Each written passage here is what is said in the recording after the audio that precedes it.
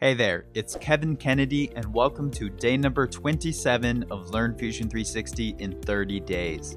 By the end of this tutorial, you'll be able to patch and repair an imported model within the patch workspace. We'll take a look at what the patch workspace is commonly used for, how to extrude a surface model, how to delete faces, and how to stitch a surface model.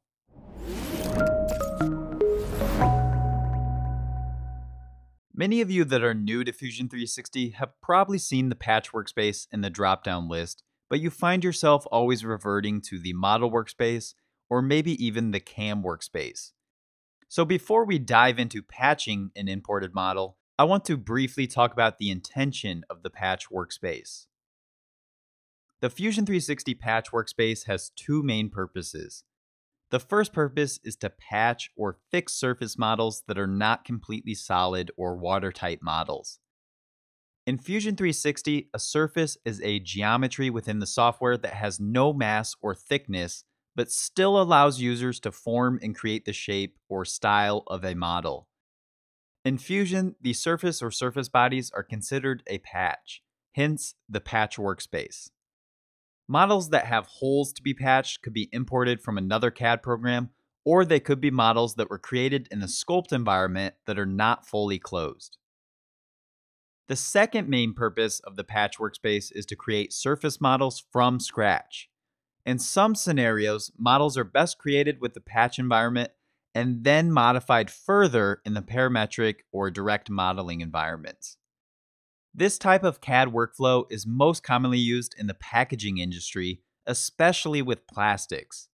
You'll see this a lot with complex bottles, vessels, or containers that are easily modeled as surface bodies and then stitched together.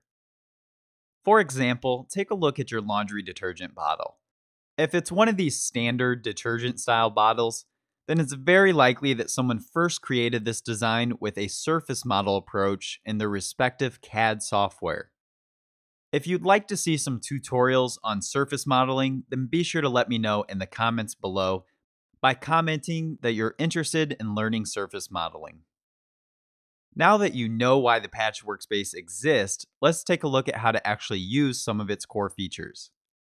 For this demo, I'll be using a file located in your Fusion 360 data panel. Click on the data panel grid icon in the upper left hand corner, then scroll down until you see the sample section. Double click on the basic trainings group and scroll down until you see the number 12 folder hyphen patch. I'll double click on that folder and then I will double click to open the buckle model. Now, Fusion 360 sample files are read only, so we'll have to create a copy of the file. Head up to File, Save As, and then you can change the name or the location of the file if you would like. And clicking that blue Save button will create a copy of the file. Now that we have a copy of the file, we can start working on it. The first thing I want you to notice is the type of file in the Fusion 360 browser. Toggle open the component folder and then the bodies folder and take note of the icon here. This icon represents a surface body in Fusion 360. If you ever import a model from somewhere online and you're wondering why you can't use the parametric modeling tools to alter it, then double check to make sure the body is a solid body and not one of these surface bodies. In our case, we don't have a solid body yet, so I'll want to fix that. Looking at the model in the home position, I'll zoom in a bit, and I'm just going to use the view cube to take a look at it from the middle. And you'll notice here, right in the middle, there's a huge hole in the middle.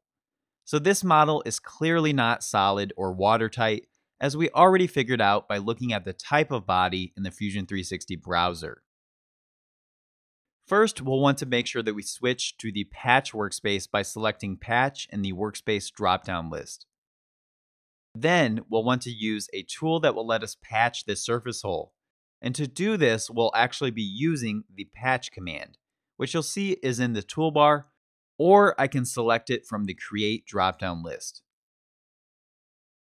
The first thing the Patch dialog box prompts us to do is to select the boundary edges. We'll want to select all four edges that go all the way around the hole. And sometimes you'll find that you have to select them one by one, and sometimes you'll be able to select the entire perimeter with just one click. You'll also notice that the preview Fusion is giving us is already showing the surface patch. In some scenarios, you may want to use the group edges command. In our case, we only have four edges, so it's not too bad but you may run into a model where you have a large number of edges to modify. Selecting this group edges will allow you to make changes to all of the edges at once. We want this surface to be nice and smooth, so I'll make sure the continuity is set to connected, as connected creates a surface with G0 edges, which are edges that are connected at an angle. Just below that, we could select a rail or point if we did have one to reference, which would make this patch even more predictable. For now, just selecting the edge patched the shape very well, so I'll click OK to exit the patch dialog box. Next, I want to make sure that the holes on the sides are also patched. To patch these holes, I'll use the extend command from the modified dropdown list. We're going to want to extend the circle out into the hole where it's perpendicular to the side. Therefore, the first thing I'll do is set the extend type to perpendicular. Then I'll select the outer edge and I'll type in negative 5.153 as I'm just making sure it goes past this other hole. And then I'll click OK in the dialog box. Next, I'll right click and select Repeat Extend and I'll select the inner circle. The extend type should have defaulted to perpendicular, so all you'll need to do is extend this surface out until it's past the outer edge that we just created, as that will make the next step easier for us. Click OK in the dialog box, and then we'll need to repeat these exact same steps on the opposite side. I'll look at the model from the other side of the view cube, then I'll right click and select Repeat Extend. I'll click on the outer circle and you'll see that it has the last dimension we used as well as the perpendicular set for the extend faces. So all we have to do is click OK.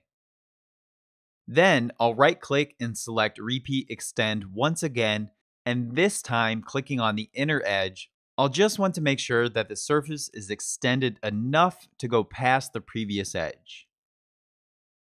At this point, we'll want to trim out the excess surface. Because the surface is internal, we'll want to look at the model from a section analysis. If you needed to create a new section analysis, you could select it from the Inspect dropdown list. Fortunately for us, the Fusion engineers have went ahead and set one up for this sample file. So all we have to do is click to turn on the light bulb next to the analysis folder in the Fusion 360 browser. I'll zoom in on the left side so it's easier to see and you'll notice you can see the surface that extends past this edge. Because we don't need this surface, I'll select it and then hit the delete key on the keyboard. You'll also want to do this to the other side, but before that, we'll also want to delete the other edge that sticks out. After deleting this face, I'll pan back over to the right, and I'll delete the other two edges that we don't need. I'll go ahead and hide the analysis folder because we're done using the section analysis for now. And if we look at the bottom of the buckle, you'll notice that part of the buckle is messed up. We want this to be one solid piece, so let's zoom in and take a look at it. Looking at each piece, they look like they're closed surfaces. So what we'll want to do in order to make them one piece is delete the interfaces and then we will stitch all of the faces back together. While holding down the shift key, I'll select the right face, the bottom face, and then the left face. And I'll hit the delete key on my keyboard to delete all three faces. Now, to rejoin the faces, we'll use the extrude command from the create dropdown menu. I'll select the left edge, and then to get the extrude command to come all the way to the other edge, I'll want to select a corner point. So I'll select this lower corner point and it looks correct, so I'll click OK in the dialog box. If we now look at the Fusion 360 browser, you'll see that we have three different surface bodies. We have two for the extrudes that we created and one for the original surface body. As we talked about in the beginning of this tutorial, our goal is to turn this surface body into one solid body. So at this point, what we'll want to do is stitch all of these surface bodies together. To do this, I'll select the stitch command in the toolbar or from the modified drop-down list. Then I'll first select the two surfaces that we created with the extrude command, and last I'll select the original surface model. You'll notice the second thing in the dialog box is the tolerance. We'll want to make sure that this is set to 0.01 millimeters, so the tolerance is fairly small, making sure we don't have any unusual gaps. We'll also want to make sure that the operation is set to new body, and then we'll click OK to see if this works. Looking over at the Fusion 360 browser again, you'll see that it did in fact work, and we now have one solid body that we can manipulate with either the parametric modeling or the direct modeling modes.